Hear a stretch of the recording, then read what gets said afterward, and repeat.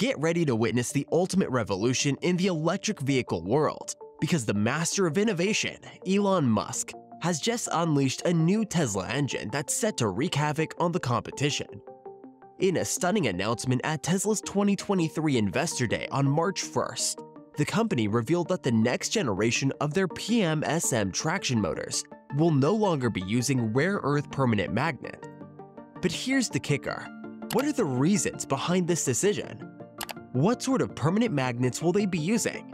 And how do they compare to their rare earth counterparts in terms of efficiency, durability, and sustainability? And most importantly, how will this revolutionary new engine impact the EV industry? And what implications does it have for the future of electric transportation? Join us as we dive headfirst into this electrifying world of Tesla's new engine and uncover the secrets behind its groundbreaking design. Let's begin. Tesla's latest move to eliminate rare earths from their upcoming models has created quite a stir in the industry. However, this decision not only highlights the company's efforts to cut costs, but also urges international efforts to find replacements for electric car motors that rely on rare earths. In their upcoming drive unit, Tesla plans to use a permanent magnet motor that uses no materials, according to Colin, the Vice President of Powertrain Engineering. In fact, Tesla's Model 3 and Model Y powertrainers have already reduced the consumption of heavy rare earths by a quarter. During the company's Investor Day, Campbell emphasized that they want to stay away from procedures that pose risks to the environment and human health and rely less on products that are subject to extreme price changes due to China's tight control over the supply chain. Rare earths are used in magnets in almost everything from phones to wind turbines and fighter jets, making them a significant concern for the renewable energy industry and automakers. However, about two-thirds of the mining and 85% of the processing of rare earth minerals are done in China, which exposes the industry to volatile costs and potential supply chain disruptions. For instance, in 2010, prices skyrocketed following China's decision to cut exports. And in 2019 and 2020, there were concerns that China might impose export restrictions due to trade concerns with the US. Now, major automakers including BMW, Toyota, and General Motors are trying to reduce their reliance on rare earth minerals, with companies such as JC Mag Rare Earth Company Limited and Jiangsu Huahong Technology Stock Company, the largest producer of the mineral outside of China. Lynas Rare Earth Limited has seen its share price drop by almost a quarter this month, and shares of other producers also fell after Campbell's remarks. According to Nils Backeberg, founder of the London-based consultancy Project Blue, the lack of diversification in supply chains for rare earth permanent magnets is a major concern for the industry. As people are expected to use less expensive but less efficient technology, the geopolitics of critical materials becomes even more crucial. Ferrite magnets, which are made of iron and alloyed with components like barium and strontium, are more readily available and less expensive than rare earth magnets. William Roberts, a senior research analyst at the London-based consultancy Rho Motion, suggests that ferrite magnets are a viable alternative.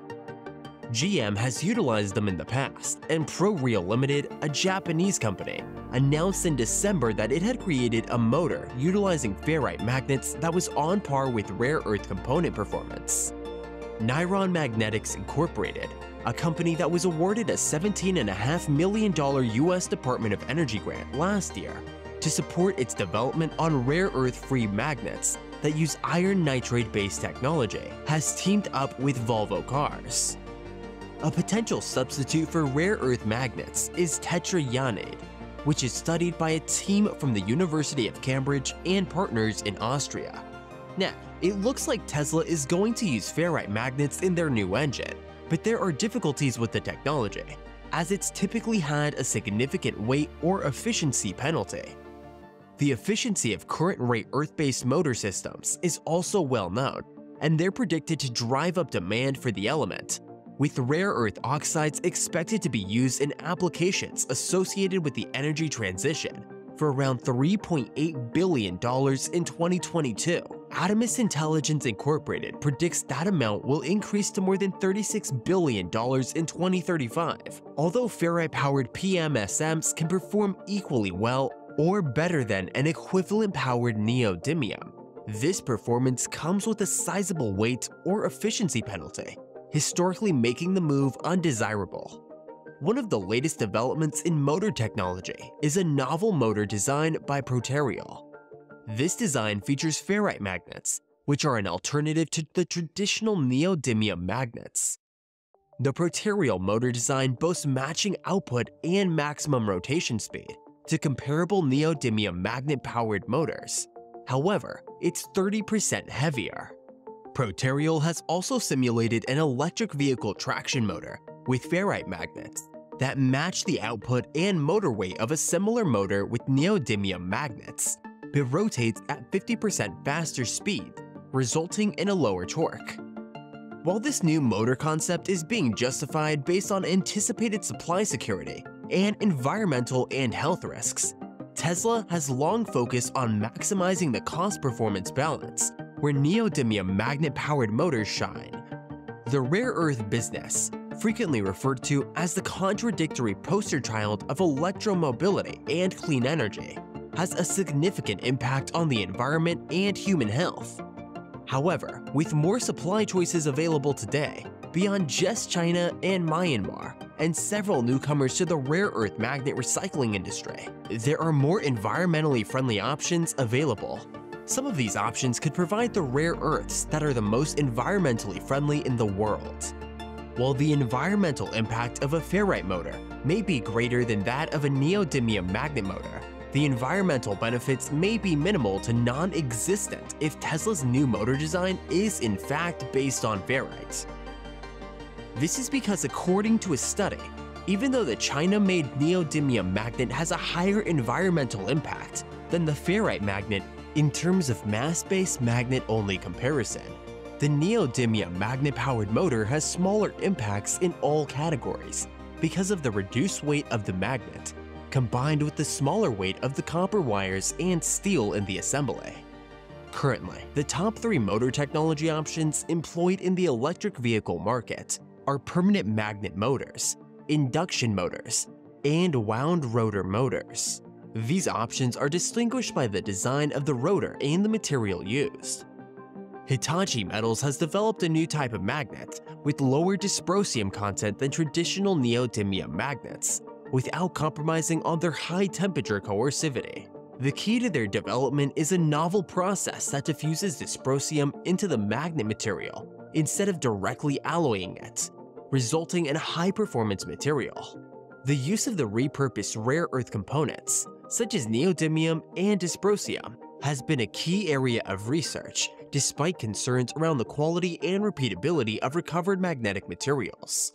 There's been extensive research on producing magnetic materials without neodymium and dysprosium. Although there are rumors of new high-performance magnetic materials, such as iron nitride and manganese-based compounds, it remains unclear how useful or close to the market they are, and commercialization is likely to take several years, even with major advancements.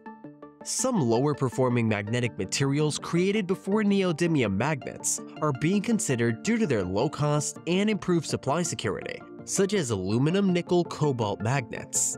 Ferrite magnets, the most basic type of magnet, are a type of ceramic magnet with ferromagnetic characteristics making them permanent magnets. They're made by calcining a combination of iron oxide and strontium, or barium carbonate, at high temperatures to create a metallic oxide, which is then ground into tiny particles. Ferrite magnets are commonly used in electric motors and generators due to their high intrinsic coercivity, which makes them resistant to demagnetization from external magnetic fields or other magnets. Strontium ferrite has better magnetic characteristics than barium ferrite, and both contain the hexagonal ferrite structure. Improving the coercivity of aluminum nickel cobalt magnets is the main focus of research at Ames University in the US. However, while these magnets have high remnant flux densities, their low coercivity means that they have a significant danger of demagnetization making them unsuitable for use in electrical machines with high power densities.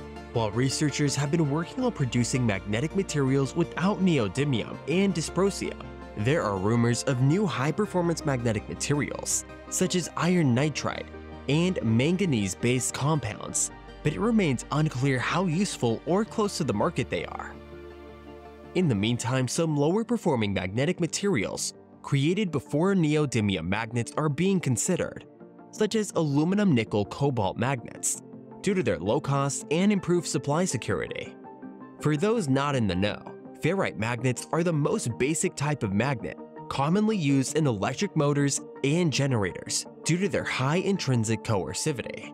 They're made by calcining a combination of iron oxide and strontium or barium carbonate at high temperatures to create a metallic oxide, which is then ground into tiny particles.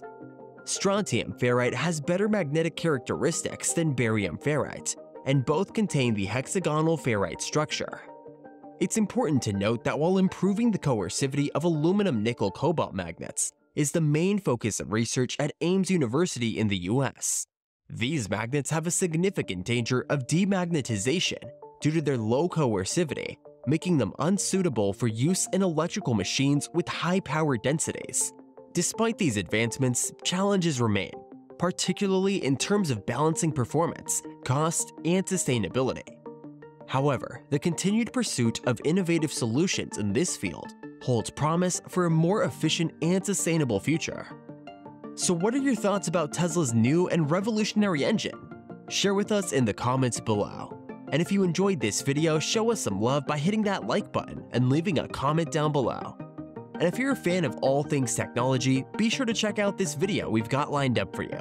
It's packed with all the latest news, tips, and tricks to keep you ahead of the curve.